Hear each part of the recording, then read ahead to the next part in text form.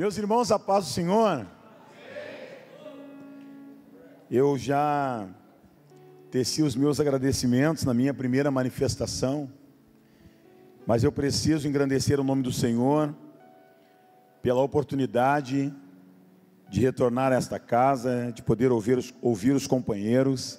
Que Deus em Cristo abençoe. Vocês são bênção de Deus na nossa vida, na minha vida em especial.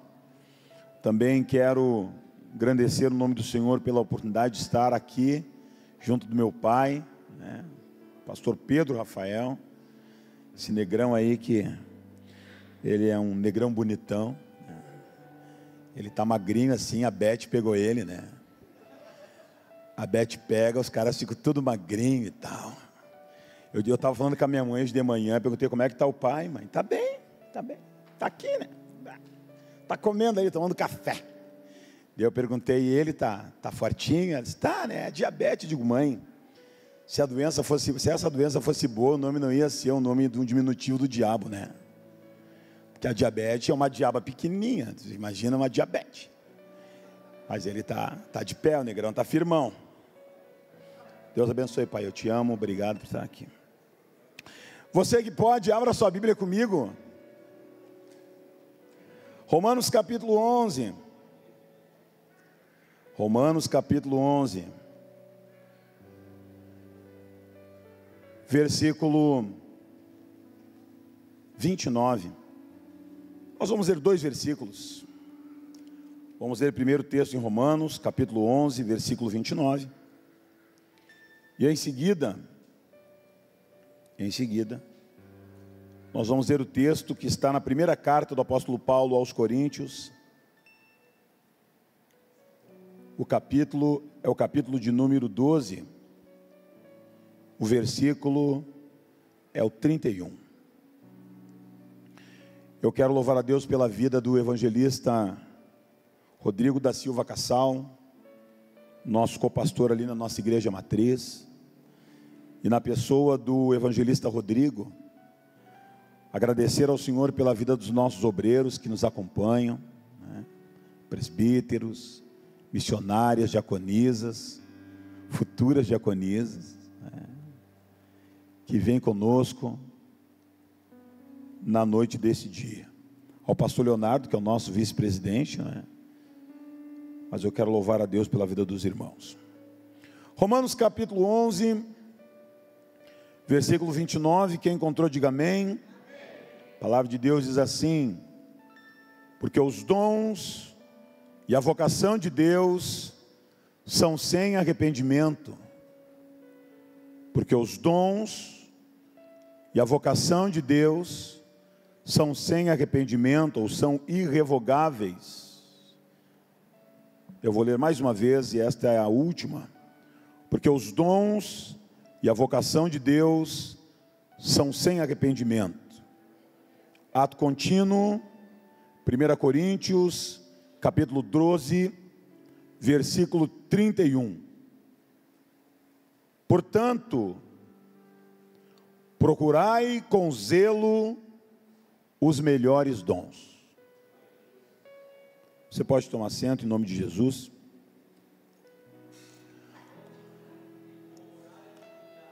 Eu quero crer, irmãos, que vocês, assim como eu, foram edificados pelas palavras que já foram ministradas aqui. Nosso querido pastor Josequiel, Deus abençoe. Pastor Marco Albernaz, Deus abençoe. Pastora Nádia, palavra gloriosa.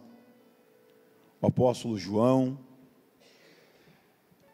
Enfim, pastor Daniel Melo me antecedeu. Deus abençoe demais. Vocês são bênção, são bênção. Eu estava conversando com os irmãos, eu estava indo ali tomar um, um lanche, né, no intervalo. Eu estava dizendo para eles que a minha tarefa, ela é, ela é árdua. É difícil ser o último, né? Porque você já vem naquela levada boa dos que vieram antes. E por mais que a gente não dispute, porque ninguém disputa nada aqui, mas ninguém quer fazer feio. Eu não quero fazer feio. Eu não vou, não é não. A gente entra com a obrigação de falar da palavra de Deus. E o desejo que a gente tem no coração, pastor Emerson, é ser usado como os companheiros também foram. Eu quero bem rapidinho falar com vocês a respeito dos dons. A escolha dos melhores dons. Eu gosto de, de lembrar que os dons, que dons e talentos são coisas distintas. O dom, na verdade, é aquilo que Deus dá para uma pessoa, é algo específico e vem da parte de Deus. Você pode buscar um dom, orar por ele, alimentar e qualificar o dom que Deus te deu. Sim. Imagine que Deus te habilita para você cantar com unção, porque cantar, irmão, Zezé de Camargo canta, a Anitta não canta. Mas o Leonardo canta, eles cantam bem, cantam. Só, só faltava eu vir aqui dizer que o Zezé de Camargo, o, o Leonardo, esse pessoal não canta, eles cantam. Eles receberam um talento. Talento não é dom. O dom é algo usado por Deus para exercício da sua obra. Então a diferença é que talvez os nossos cantores, ou alguns dos nossos cantores, não cantem tão bem quanto eles, mas por terem da parte de Deus um dom, quando eles cantam, as manifestações são diferentes, não são carnais, não são emocionais, elas são espirituais. Isso nos coloca num patamar diferente. Dom e talento são coisas diferentes. Existem pessoas que recebem um talento natural, é inato, ele nasce com aquela habilidade. Eu diria que talvez o talento é algo que você ganha quando nasce. E os dons são algo que você recebe quando nasce de novo.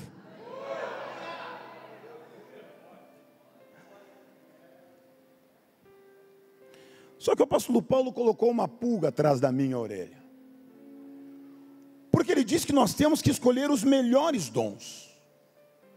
Eu estou ministrando esta noite para obreiros. Quais seriam os dons, pastor Daniel Melo, que nós deveríamos pedir a Deus? O apóstolo Paulo, ele vai além, ele não diz que nós temos que pedir, ele diz que nós temos que buscar com zelo. E para falar sobre essa verdade, eu quero rapidamente falar os tipos de dom que existem. Porque você que é leitor da Bíblia sabe que existem três tipos de dons. Existem os dons do Pai, os dons do Filho e os dons do Espírito Santo. Vamos lá, repita comigo: os dons do Pai, os dons do Filho e os dons do Espírito Santo. Os dons do Pai estão registrados em Romanos, capítulo 12, versículos 3, 6 a 8. Eu vou ler aqui o versículo 3. Romanos 12, versículo 13. Eu quero pedir, os irmãos vão projetar aqui. O texto bíblico sobre a escrita do apóstolo Paulo diz o seguinte: Porque pela graça que me é dada, Digo a cada um de vós que não saiba mais do que convém saber, mas que saiba com temperança, conforme a medida da fé que Deus, que Deus repartiu a cada um. Então existem dons que Deus repartiu para cada um. O que é interessante é que os dons que Deus repartiu para cada um, nós vamos chamar os eruditos, os teólogos, os estudiosos, de várias vertentes, eles dizem que os dons do Pai são classificados como dons de serviço. E quais são os dons de serviço? Profetizar, ministrar, ensinar, exortar, repartir, presidir, presidir e exercer misericórdia. Esses são os dons do Pai. São os dons que o Pai distribuiu para os seus servos. São dons de serviço. É por isso que às vezes o obreiro tem uma habilidade, é habilidoso com as palavras, ele é carismático, ele é querido, o povo gosta dele. Você coloca ele para dirigir um culto e ele não consegue dirigir um culto. Ele fala demais. Lá na nossa igreja eu sempre digo, irmão, não me chame, por favor, não me chame para apresentar os visitantes. Porque se eu for para fazer os anúncios, eu, os visitantes eu gosto de saudar. Eu gosto às vezes. Mas eu sou falante, meu, eu sou um negrão tagarela. Então, se você me dá para saudar o visitante, fazer um anúncio, eu vou encher murcilha. Eu venho aqui e vejo o Kleber dirigindo o culto. Cadê o pastor Kleber? Já foi? Está aí? Está lá o Kleber? Está lá atrás da coluna. O Kleber se desviou, está lá. Jogaram o Kleber lá no canto. Eu vejo ele dirigindo a reunião, presidindo a reunião. Eu digo, cara, que, que habilidade. Se fosse eu, irmão. Pensa no negrão que enche murcilha, sou eu. O problema é que o obreiro que não sabe presidir uma reunião, ele vai ter um problema, ele vai gerar um problema. Porque se dava para ouvir cinco louvores e ele falando, vai ouvir dois. Se dava para dez pessoas cantar com ele enchendo murcilha, vai duas pessoas cantar. Ele, ele, ele centraliza o culto nele. Então, presidir é um dom. Tem gente que parece camisa 10, né? Uma camisa 10 do futebol, não tem? Recebe e toca, recebe e toca, recebe e toca. Mas tem uns que são os volantão, né? Quer segurar a bola. Você está entendendo, irmão? Presidir é um, é um dom de Deus. Por isso que os dons do Pai são classificados como dons de serviço profetizar é um dom de serviço, ministrar é um dom de serviço, ensinar é um dom de serviço, exortar, nem todo mundo está habilitado a exortar alguém. Alguns anos atrás nós aprendemos que o ato de exortar, ou o dom de exortar, é pregar mensagem aquela de lambada. Hoje o irmão nos exortou, mas irmão, exortar no original significa consolar, confortar. Tem gente que não tem habilidade de. Já viu, irmão? Vai querer confortar alguém, parece que a palavra dele é mais pesada do que a dor que o miserável estava sentindo antes. Por quê? Porque ele não tem o dom. Ele não tem esse dom. O dom de exercer misericórdia.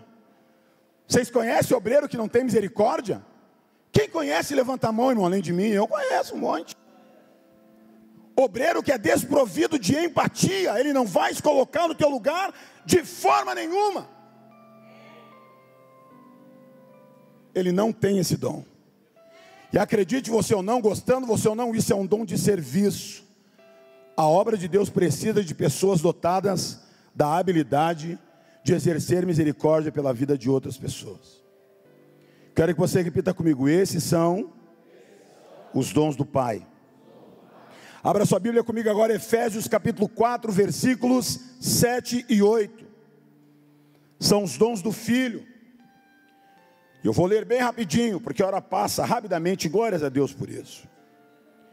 Mas a graça foi dada a cada um de nós, segundo a medida do dom de Cristo. Pelo que diz: subindo ao alto, levou cativo o cativeiro e deu dons aos homens. Oh, aleluia! Os dons do filho, diferentemente dos dons do pai, os dons do pai são dons de serviço, os dons do filho são dons ministeriais. Diferentemente dos dons do Pai, que são dons de serviço, os dons ministeriais, eles têm a ver com aquilo que está relacionado com a nossa vocação. E são eles, apóstolos. A uns o Senhor deu para serem apóstolos, a outros o Senhor deu para serem profetas, a outros o Senhor chamou para serem evangelistas, pastores e doutores. Eu, eu tenho para mim que quem tem uma chamada para ser evangelista, e eu quero falar o evangelista no sentido absoluto da palavra, aquele que tem a vocação de evangelizar. Ele quase não para na igreja, né? Ou seja, ele é um bom pregador, mas às vezes não é um bom obreiro. Porque nós estamos numa escola de obreiros, é importante que você aprenda que existe uma diferença que separa o bom obreiro do bom pregador. O bom pregador é aquele que até dá bom testemunho, ele dá bom testemunho, eu não estou falando em testemunho, ele dá bom testemunho. Ele te manda uma mensagem, pastor, eu estou indo, ou seja, ele é obediente, ele é temente, ele dizima, ele oferta. A mulher dele, os filhos dele estão na casa de Deus, mas ele, tu só vê ele pela rede social. Estou pregando em Cachoeira, estou pregando em Pelotas, estou indo para Veranópolis, estou voltando, mas estou ficando em Cachoeirinha, vou dormir ali porque eu prego em Gravataí amanhã. Os companheiros chegam para ti e falam assim: rapaz do céu, mas teu obreiro foi lá. Aquilo pregou que foi um. Ou seja, ele abençoa a igreja dos outros.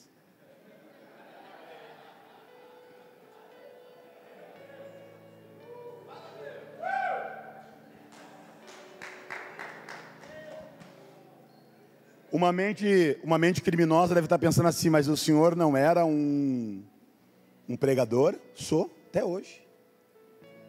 Até hoje eu sou pregador, até hoje eu sou pregador. Mas sempre fui pastor. Desde os 21 anos eu sou pastor. Pastor, o senhor pode vir aqui pregar no nosso evento, irmão? Não dá porque eu tenho evento aqui na minha congregação. Pastor, você podia. Irmão, eu não posso ir porque eu vou estar tocando, irmão, porque eu também fui músico. Eu não vou poder ir porque eu estou tocando aqui na congregação, porque eu tocava num conjunto. O senhor também tocou em conjunto, né? Tocava em conjunto. Então não vou poder ir, irmão. Pá, mas nós queríamos que o senhor viesse, mas não dá. Porque vai ter um evento aqui ao ar livre e eu não vou poder ir. Irmão, o senhor podia vir aqui pregar? Não, não, não vou poder, irmão. Por quê? Porque vai ter um evento das irmãs, o senhor vai cantar, vai pregar, não vou fazer nada, mas a minha mulher vai, eu tenho que prestigiar a nega véia. Existe um oceano que separa o bom obreiro do bom pregador. Irmão, se você perguntar, falei com aquele rapaz lá, que ele, pastor Leonardo é meu filho. Alguém perguntou, tem filho varão? Tenho, é o pastor Leonardo. Conheço o pastor Leonardo desde que ele era menino, menino. Ele ainda é para mim, porque os filhos para os pais não envelhecem. Ele tá, tá.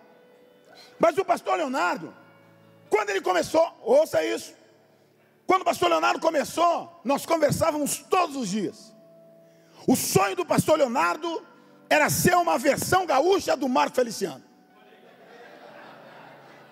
Que eu vou viver da pregação, porque eu não sei o que. Eu fiquei sabendo que ele teve, exerceu até um assédio ministerial sobre o pastor Wagner. Mandou uma mensagem, pastor Wagner. Tinha o quê? 14 anos, pastor Leonardo. Tinha assim, ó, pastor Wagner, o senhor não me conhece, eu sou aqui da Lama do Pinheiro, eu sou gordinho, meu nome é Leonardo Belchior, e eu sou pregador, me levam. Pelo orgulho, irmão, que é isso? Mandou uma mensagem pelo orgulho, se oferecendo, Henrique, queria pregar na AME. Pastor Wagner desfez a amizade, não, O sonho dele era ser pregador. Aí o Leonardo, um ano e pouco depois, casou. Irmão, ele casou com a Duda, eles eram duas crianças, irmão. Até ali eu estava tolerando, incentivando. Vai lá, investe, é teu ministério. Aí um dia casado, ele chegou para mim e disse: Pastor, agora sim, agora eu sou livre, sou casado, vou viver minha chamada. Eu disse: Negativo. Tu tirou a menina da casa dela, tu vai trabalhar e vai cuidar dela agora. Perguntou para mim assim: ó, o senhor é doido? E a minha chamada? Eu perguntei a minha chamada, Leonardo. Eu prego desde, desde o do tempo que eu tinha a sua idade, Leonardo. E eu trabalho a semana toda. Se quer me convidar, eu vou na sexta e eu volto no domingo. E na segunda eu estou lá de crachá, trabalhando. Porque essa mesma voz que leva o Espírito Santo para a vida das pessoas, leva conforto para os clientes da empresa que pagam o meu salário. Quer servir a Deus? Sirva. Quer ser bom obreiro? Sirva a sua igreja. O bom obreiro é o obreiro que serve a sua igreja. É o obreiro que prega fora, prega, mas também prega dentro. É o obreiro que sai para viajar, mas se o pastor dizer, mano, você não vai, ele diz, ok, pastor. O coração dele partido, porque parte, irmão. Era uma agenda boa, tinha uma ofertinha. Pastor tirou dinheiro da minha conta. Mas você ganha na obediência, porque não existe nada melhor do que obedecer. A Bíblia diz que o obedecer é melhor do que o sacrificar.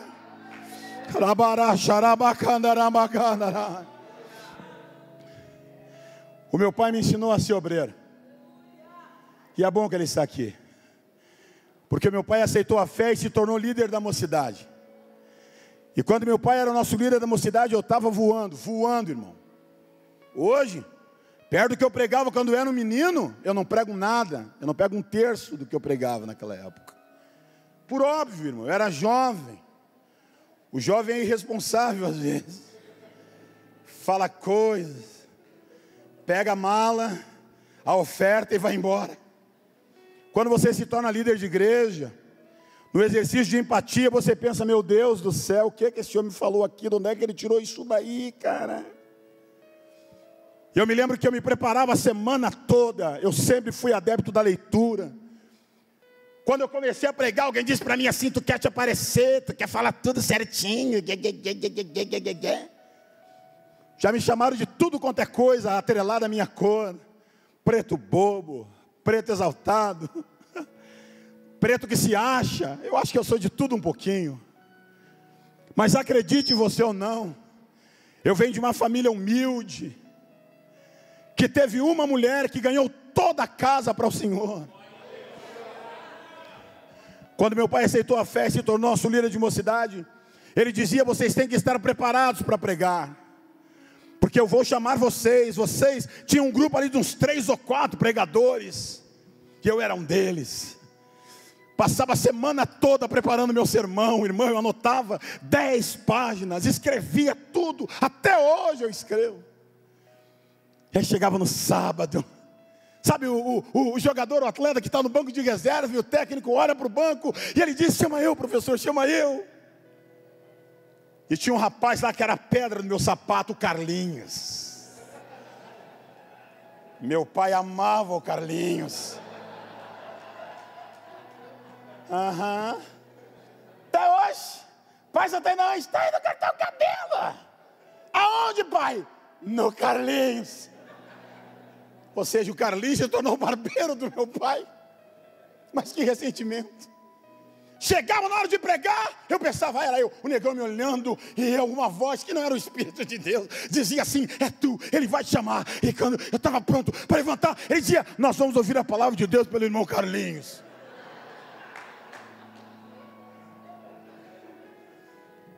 Um dia eu cheguei chorando em casa. Eu tinha uma Bíblia marrom de zíper. Toda Assembleia no Raiz já teve uma Bíblia marrom de zíper. Viu? Cheguei com aquela Bíblia com um monte de papel dobrado escrito dentro. Joguei na cama chorando, chorando. Minha mãe prudente veio atrás de mim e perguntou o que, que foi, rapaz. Eu disse, o pai, mãe. O pai perdeu a visão espiritual, mãe. A senhora viu o que, que o Carlinhos pregou? Minha mãe disse: sim, foi uma bênção, bênção, mãe.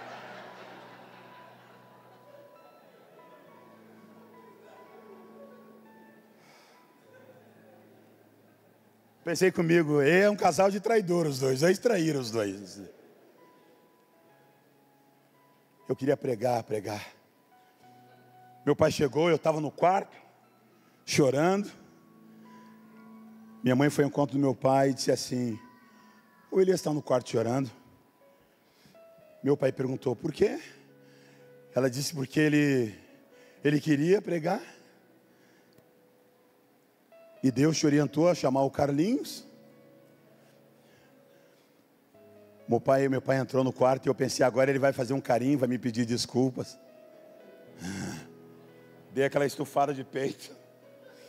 Na verdade, eu não tinha essa barriga, então eu tinha peito. Ele entrou no quarto e falou assim: Tu está chorando, meu filho? Sabe que ele está chorando por quê? Está chorando por quê? Falei, pai, até as crianças da igreja viram que a palavra hoje não estava com o Carlinhos, estava comigo, pai. Esse negrão sempre foi calmo, sempre teve paciência comigo, meu irmão. Ele assumiu uma mocidade com cinco ou seis pessoas, entregou com quase 50 jovens. É, brabo, pensa no negão bem brabo, é esse aí. Bravo. Sempre foi honesto, trabalhador, mas bravo. Eu falei para ele: o senhor perdeu a visão. A palavra não estava com o Carlinhos, estava comigo. E ele deu uma respirada fundo, falou assim: meu filho, com esse sentimento você nunca será um bom pastor. Como assim, pai? Um pastor tem que saber distribuir, filho pastor tem que saber ficar sentado e ver a luz de Deus brilhar por intermédio do rosto de outras pessoas. Um pastor tem que saber valorizar os obreiros, dar oportunidade para eles. Pastor não pode ter ciúmes, meu filho, porque quando você for, for, pastor, irmão, eu tinha 15 anos, 16 no máximo. Ele disse: quando você for pastor, imagina Deus levanta um pregador e você vai ficar sabotando ele, cortando o ministério dele. Não permita que o inimigo coloque isso no seu coração, meu filho. Hoje Deus usou o Carlinho, semana que vem, na outra semana, Deus vai te usar, porque o mesmo Deus que te usa, usa o Carlinhos.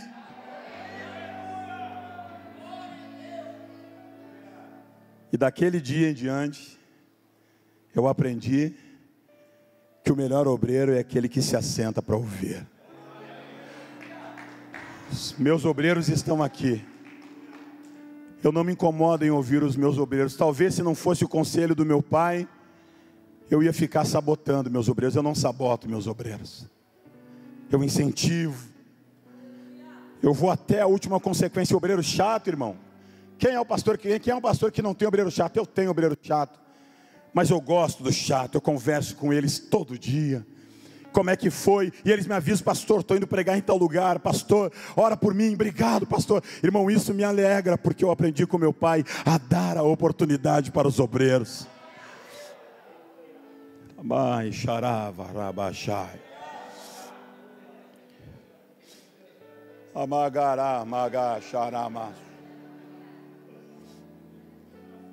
Eu quero parar um instante somente. E permitir que você glorifique o nome do Senhor.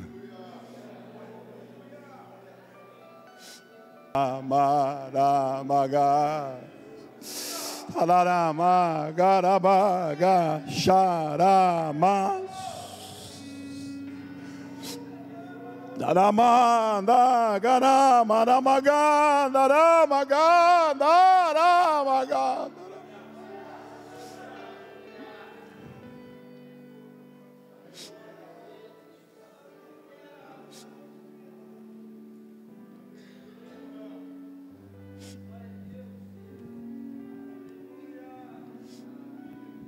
Quando eu me casei,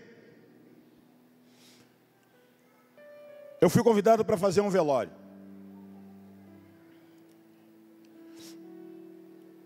O pastor não podia fazer porque ele estava viajando. E o filho do nosso pastor, que também era pastor, não podia fazer, porque na infância, esse menino criado na igreja, sem querer, derrubou o irmão que morreu. Ele quebrou a bacia, Sabe criança, quando acaba o culto, que ficam correndo? Eles eram meninos, estavam brincando. O irmão se assustou, tropeçou, caiu, fraturou a bacia, nunca mais caminhou. A família daquele irmão culpava esse jovem obreiro, mas ele era uma criança. O pastor me ligou e disse: Elias, na época eu não era Pedro Elias, eu era só Elias. Ele disse: Eu preciso que você faça um velório lá na igreja. Eu era diácono. Eu disse: Mas, pastor, eu nunca fiz velório. Quanto tempo eu, eu, eu, eu, eu prego? Vai lá, dá o jeito. Prepara uma mensagem e prega lá. Eu fui, irmão. Que nem fala o brasileiro na cara e na coragem. E ministrei aquela madrugada na igreja. Fiz uma oração. E quando o velório terminou, a família do falecido veio me abraçou e disse: Que bom que você veio, Pedro Elias. Que palavra maravilhosa. Fizemos um convite, pessoas aceitaram a fé, ali no velório, a madrugada inteira, a noite toda no, no, na igreja, com aquele caixão aberto e um velho evangelista que seria sepultado no dia seguinte. Eu já fiz mais de 200 casamentos.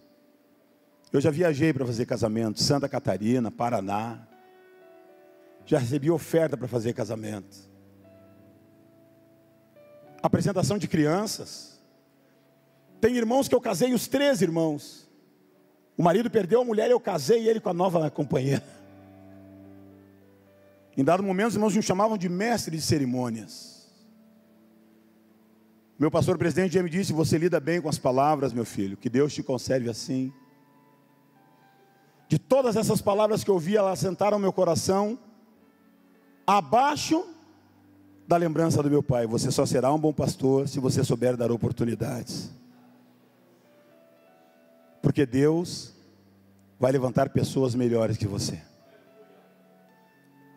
E se você não ter a humildade que o pastor Wagner tem, que o bispo Ezequiel tem, de se assentar com todo o arsenal de experiência que tem, para ouvir jovens obreiros como nós, como nós, como nós. Nós não seríamos, não seríamos bons pastores. Bons pastores, doutor Paulo, são aqueles que dão oportunidade, que têm prazer em ver Deus usando pessoas. Quando eu vi o pastor Leonardo pregando na AME pela primeira vez, eu chorei ali sentado. Porque o sonho dele se cumpriu. Era o sonho dele. O bom obreiro é aquele que se alegra com o sonho do companheiro.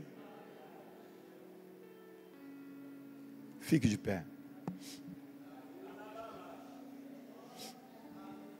Repita comigo: os dons do Pai são dons de serviço. Os dons do Filho Diga, os dons do Filho são dons ministeriais. Diga, os dons do Espírito Santo são dons concessionais. Ah, como assim? O que é uma concessão? É algo é algo que alguém cede para você. O que é uma concessionária? Concessionária é algo que trabalha, é uma empresa, uma revenda, que trabalha a partir da cessão de uma montadora. Concessionária da Fiat, ela não é a montadora, é uma loja que só vende carros da Fiat. Concessionária da GM, ela não é a montadora, não, ela é uma loja que só vende carros da GM. Zero quilômetro. Usado ele pode vender de qualquer marca, mas ele é uma concessionária as peças lá na concessionária são mais caras. Mas a concessionária recebe com valores especiais, porque porque eles têm uma aliança. Concessão na prática é o ato de oferecer aliança. Concessão, alguém que tem algo maior cede algo para alguém que tem algo menor.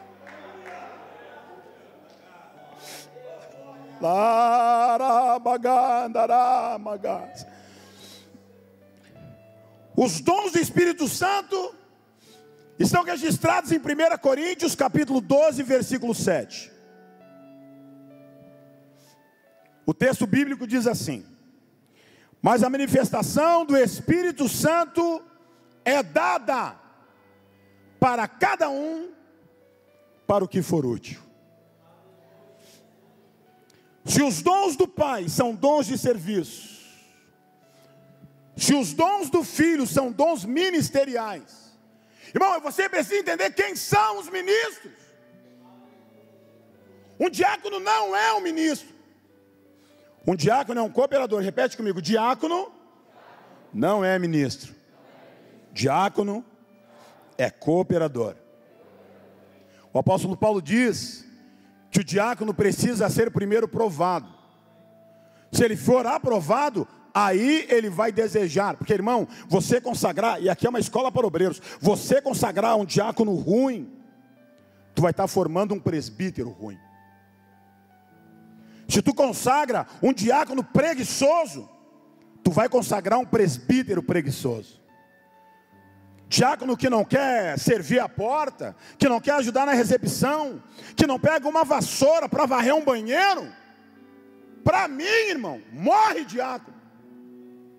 Não consagro. Não consagro. Porque o tratamento com diácono é um, o tratamento com presbítero é outro. Diácono pisou na bola, você chama e pá, tramontina nele, irmão. Corte rápido. Um presbítero peca, tu tem que ter três testemunhas. É uma ladainha bíblica. Então, para você colocar um diácono no banco, tu chama e diz: Arão, você pisou na bola.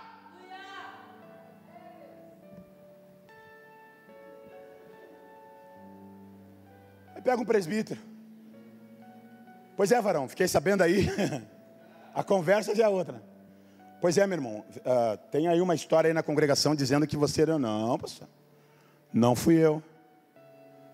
Se você não ter provas, se você não ter três testemunhas válidas, aquele presbítero sem temor, vai continuar no seu altar e você não vai poder fazer nada. Tem um texto da Bíblia em Lucas, Jesus falando, ele diz que a quem mais é dado, O apóstolo Paulo, orientando Timóteo, disse: Não imponhas as mãos precipitadamente. Obrigado. Toalhinha azul. Tan, tan, tan, tan. É. Vigia, não sai da mensagem. Não perde o foco. Você entendeu, irmão? Você precisa entender o que é um ministro então, mas pastor, é errado ser cooperador? Não, irmão. Que é isso que é legal na Bíblia. Porque a gente vê falar de Filipe, ele está na lista dos sete aqueles. Estava ou não estava? Estava. Diácono. O interessante é que quem consagra diácono, quem elegeu os diáconos, foi a igreja. As palavras de Pedro tinham esse, esse cunho. Escolhei dentre vós sete homens de boa reputação, cheios de Espírito Santo. Irmão, a igreja tinha mais de cinco mil pessoas. Imagina escolher sete. Deixa eu te fazer uma perguntinha em off. Será que se a igreja precisasse te escolher, Pastor Wagner coloca uma urna eletrônica assim, irmãos, vamos escolher aqui, ó, do meio da AME, vamos escolher aqui do meio da Igreja Maranata, vamos escolher aqui do meio da Nova Vida, da Vida Nova, vamos escolher aqui, vamos, vamos escolher aqui. Vocês vão eleger sete diáconos, sete. Algumas igrejas teriam dificuldade de boa reputação, cheios do Espírito Santo e de temor. Porque quando, às vezes quando ele é auxiliar, ele é bom. Aí tu consagra o diaconato.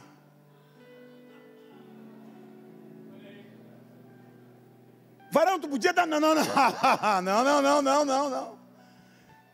Porta não me pertence mais, agora eu sou diácono.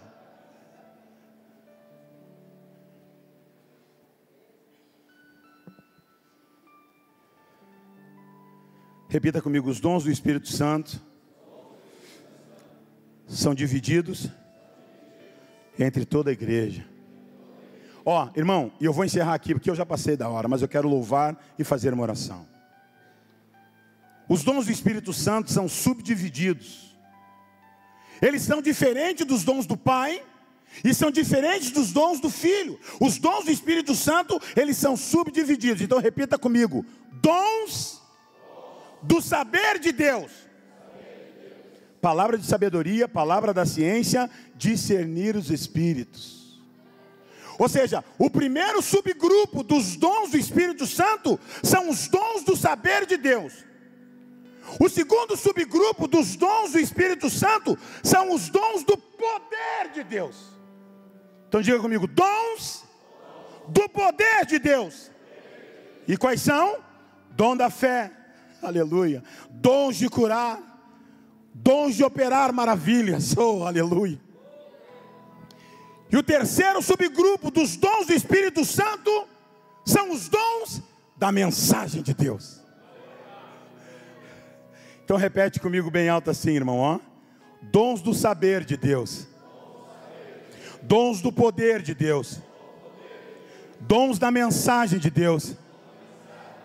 Quais são os dons da mensagem de Deus? Profecia, variedade de línguas e interpretação de línguas. Esses dons não é para nós, irmão, somente. Esse dom é para qualquer um. Esse dom é para quem fala tudo errado. Esse dom é para aquele que não tem a divisa, que ainda não tem a divisa.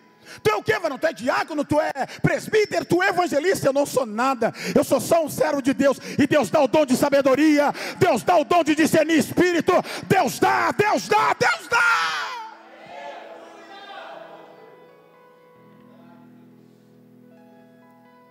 Paulo aconselhou e eu encerro aqui, de verdade. Escolhei os melhores dons. Eu quero que você pergunte para mim qual seria o melhor dom. Na minha opinião, qual seria o melhor dom? Na minha opinião, existem dois dons que são os melhores para serem escolhidos por obreiros. O primeiro é o dom de discernimento. Porque tem muito gato por lebre ocupando nossos púlpitos. Aí tu olha, Henrique, tu vê o cara, Henrique, gravatinha, terninho do Teva, sapato, sapato compradinho em Novo Hamburgo, brilhante, com quatro, cinco cores. Carro importado, agenda volumosa, porque agora os caras, quando tem agenda, coloca agenda no mês de julho, dia tal em tal lugar, dia tal em tal lugar, dia tal. Tu pensa, boa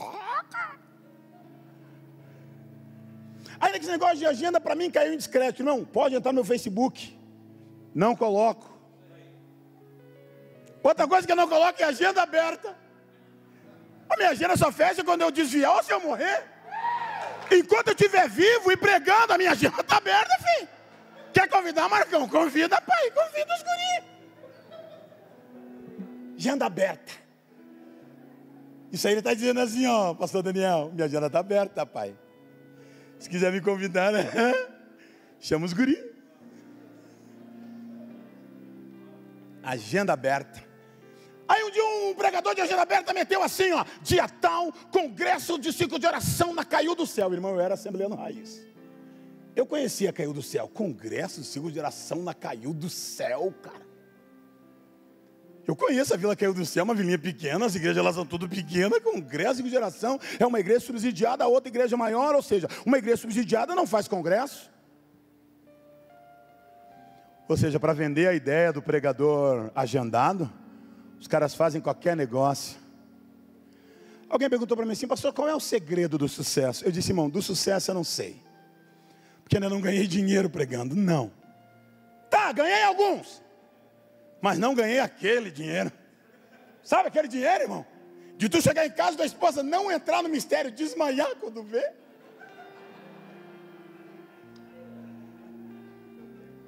Hein, Clebinho? Estou falando daquela oferta. Que quando entra na conta do crédito te manda uma notificação. Olha, tem valor aí. Acho que não é teu, querido. Ainda não.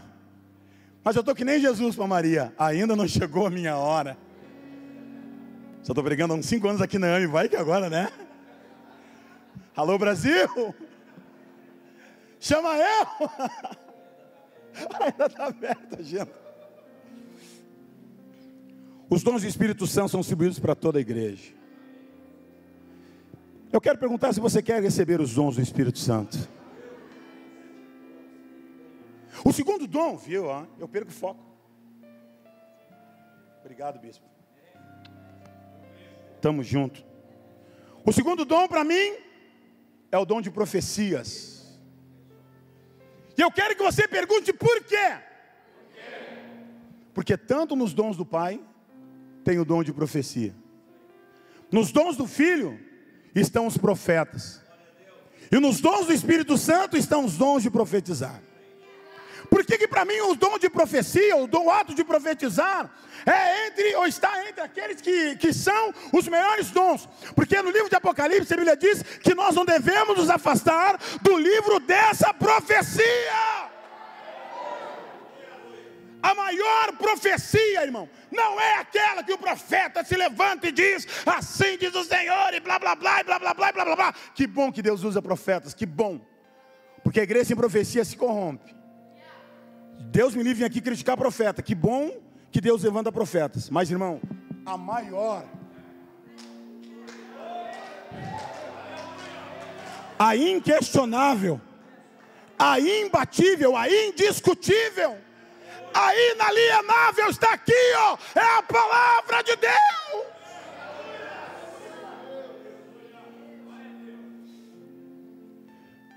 Quem quer vir receber os melhores dons? Vem à frente, vamos orar junto. Dá para fazer um convite, pastor Wagner? Irmão, faça só maior.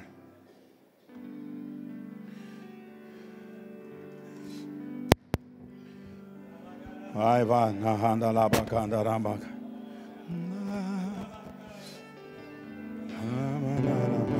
Xarabás. Ramacai. Ré maior, Ré maior, Ré maior. Ora mandara baganda ramash.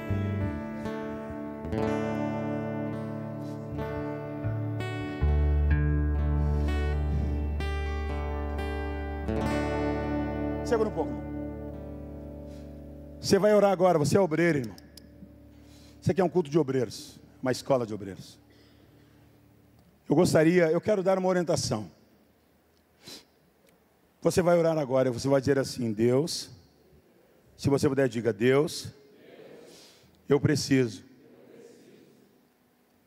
que o Senhor me dê os melhores dons para o exercício da minha vocação. Diga, Deus, o meu anelo é sair daqui com o meu dom renovado na tua presença. Quando eu for pregar, que haja cura, que haja renovo, que haja batismo no Espírito Santo. Quando eu for exortar, que a pessoa que for exortada seja consolada, seja confortada. Quando eu for evangelizar, que a pessoa que for evangelizada seja tocada pelo Espírito e se convença dos seus pecados. Me dá graça, Deus. Me habilita, Deus. Que o teu Espírito Santo me dê os dons de poder.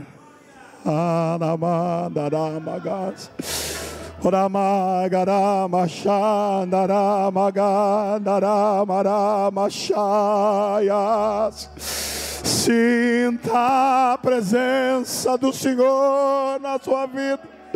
Aramagá, Arabagai, Arabachá, Darai. É maior, renova. Renova. Xaramassai, sinta a presença do Senhor na tua vida agora. Irmão, é o encerramento desta escola bíblica. Nós estamos na última mensagem, é o último sermão desta noite. Seja renovado, não passe em branco neste dia. Que o Espírito do Senhor renove o dom que está em ti. Renova-me Senhor Jesus, já não quero ser igual, já não quero ser igual. Renova-me, renova-me, Senhor Jesus. Põe em mim teu coração, põe em mim teu coração, porque tudo que há, porque tudo que há dentro de mim necessita ser usado, Senhor. Porque tudo que há, porque tudo que há dentro do meu coração necessita mais de ti. Renova, renova-me, Senhor Jesus. Já não quero ser igual, já não quero ser igual. Renova-me, Senhor Jesus. Põe em mim teu coração, põe em mim teu coração, porque tudo que há, porque tudo que há dentro de mim necessita, necessita ser mudado, Senhor. porque tudo que há, porque tudo que há dentro do meu coração Necessita mais de ti. Senhor, eu quero, Senhor, quero ser como tu. Eu quero ser usado, eu quero ser usado em tuas mãos, Senhor.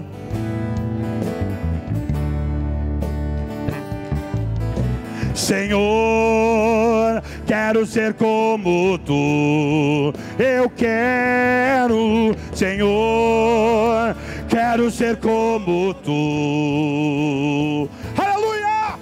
Eu quero ser usado em tuas mãos, Senhor. Quero ser como tu, Senhor.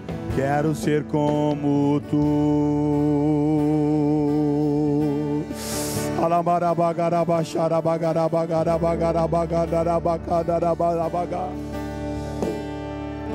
Eu quero pedir gentilmente que você abrace duas pessoas. Eu abraçar duas pessoas, você vai estar abraçando dois obreiros, obreiras. Você vai dizer no ouvido desta pessoa, você vai sair diferente deste lugar esta noite. Dê um abraço carinhoso, você vai sair diferente desse lugar esta noite. Vai sair diferente, vai sair diferente, vai sair diferente. Vai sair diferente. Quem é batizado do Espírito Santo seja renovado.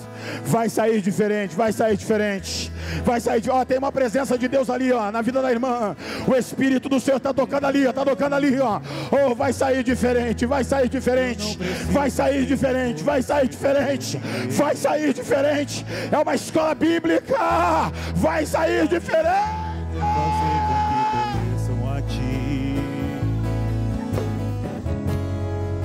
E que diminua eu, para que tu cresça, Senhor. Mais e mais. mais e mais. Aleluia! E como serafins que cobre o rosto, Se você puder, adore a Deus um pouco mais. escondo o rosto para que vejam tua face em mim. E que diminua eu.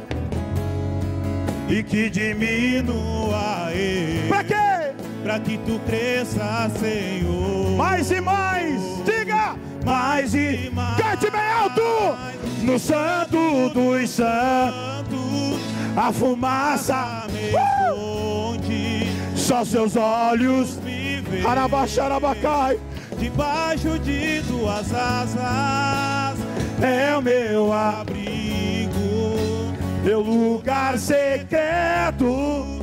Só tua graça me basta e tua presença é o meu. No santo dos santos, cante.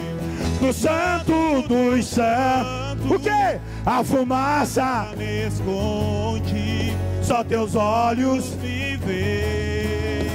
debaixo de tuas asas. É o meu abrigo, meu lugar secreto. Só tua graça me basta e tua presença é o meu prazer. Só tua graça me basta e tua presença é o meu prazer.